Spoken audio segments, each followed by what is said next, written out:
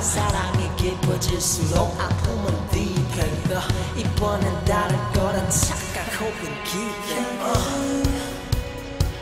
몇 년이 지났을까 영원이란 건 없다 결국 인연이 아닌 걸까 다시 혼자가 된다 겨우 겨우 겨우 진짜 사랑을 찾은 줄 알다가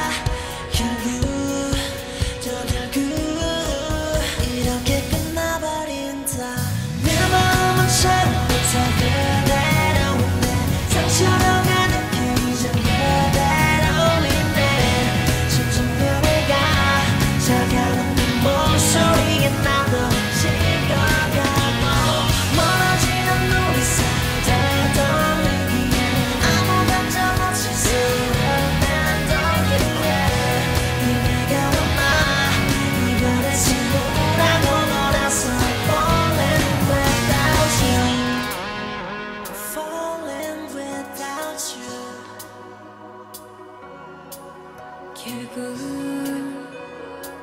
누구의 잘못일까 사랑이란 건 없다 결국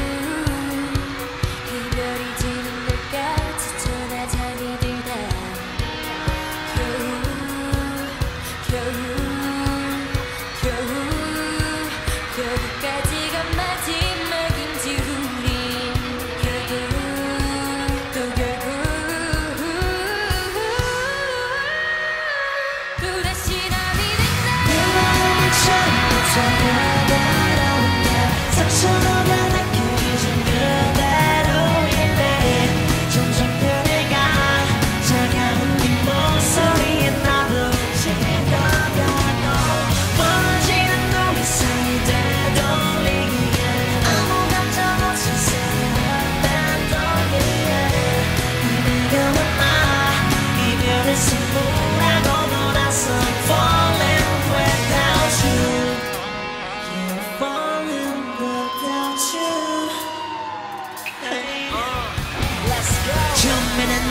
몰랐겠지. 그녀의 빈자리 가져왔겠지. 하루 이틀 보내지나 보낸 뒤에서야 비로소 그대가 고맙겠지. 몰랐겠지 자신에 대해. 넌 진짜 사수이다는 건 확신에 대해. 오늘과 다른 내 벌써 끌리면 머리는